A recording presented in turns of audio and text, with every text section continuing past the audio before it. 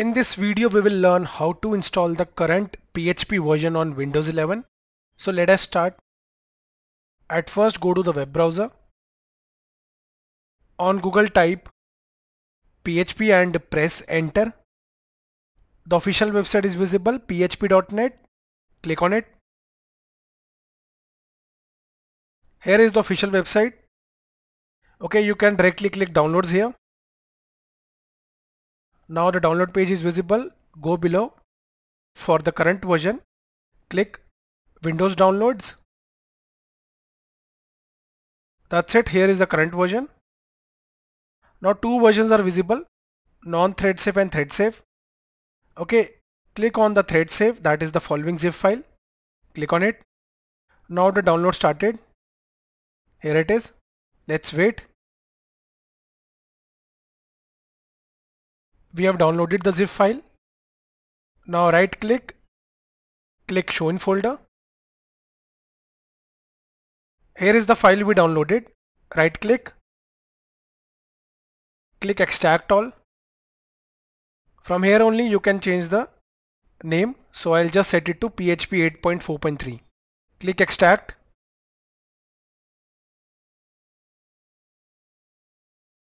We have extracted it. Okay here it is. Right click.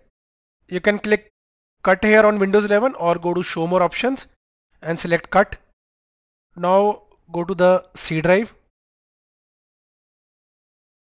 Okay click here. Program files. Right click and paste here. Okay or you can also use show more options and click paste. Click continue Now you can open this. Okay, copy this path, minimize, go to start, type environment variables. Click on the first one that is edit the system environment variables. Click open. Now under advanced, click environment variables. Now double click on the path. Click new and right click and paste the same path. That's it. Click OK, OK and the last OK. That's it. Now go to start, type CMD, click open,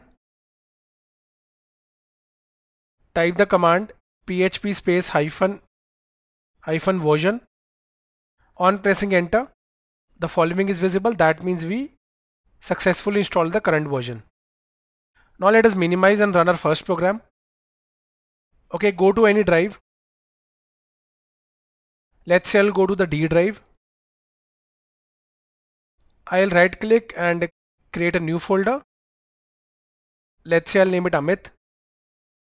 Open it, right click, new, create a new text document and I'll name it index.php. When you'll press enter, it will ask that you want to change the file name extension. Yes. Okay, now when you'll keep the mouse cursor, .php file is visible. If your extension is not visible, not a problem. On Windows 11, go to view, click show and here select file name extensions. Okay, I already selected it. That's why I was able to rename it successfully. Now let us open it. Right click, you can either open with Notepad or Notepad++. Plus A lot of users still use Notepad, so not a problem. Open it in any editor. Now I'll quickly print something in PHP. I'll use the echo command to print. Echo Amit Diwan. Okay. Save.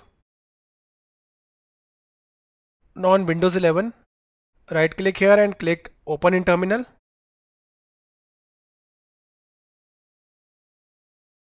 So you are inside your Amit folder only. When you type dir, your only file will be visible index.php. Now to run it type php space the name of the file index.php and press enter. On pressing enter we printed Amit Diwan that is the same. So guys, we successfully installed PHP and we also ran a sample program. For a free PHP, JavaScript, jQuery, CSS and Bootstrap tutorial, refer the links in the description of the video. Thank you for watching.